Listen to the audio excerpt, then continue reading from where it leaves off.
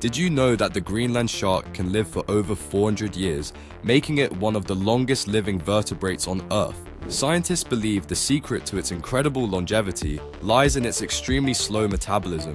Living in the icy deep waters of the North Atlantic and Arctic Oceans, the Greenland shark moves at a glacial pace, swimming less than 1 mile per hour. This slow lifestyle means its cells and tissues age much more slowly than those of faster, warmer water species.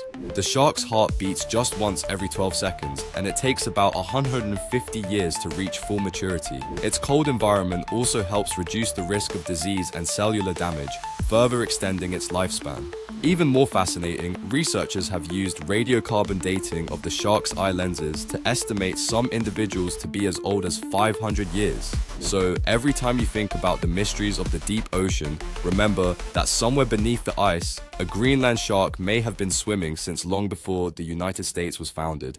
Comment below if you knew this amazing fact.